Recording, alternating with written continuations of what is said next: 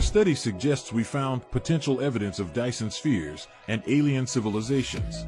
For more than half a century, scientists have wondered if searching for technosignatures like Dyson spheres from super advanced civilizations could help us discover intelligent life elsewhere in the universe.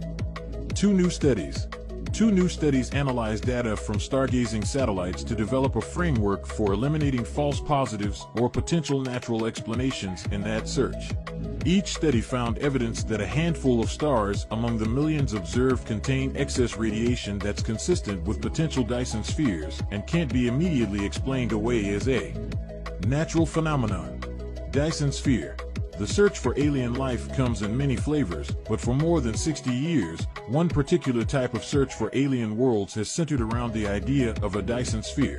First proposed by physicist Freeman Dyson in 1960, the idea is that a sufficiently advanced civilization, satellites.